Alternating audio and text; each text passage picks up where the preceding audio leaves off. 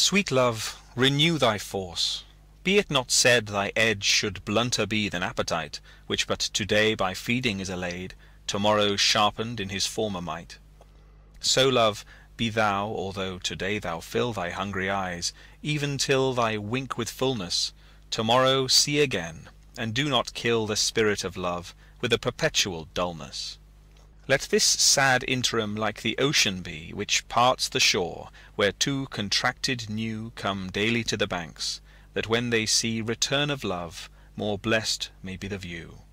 Or call it winter, which being full of care Makes summer welcome, thrice more wished, more rare.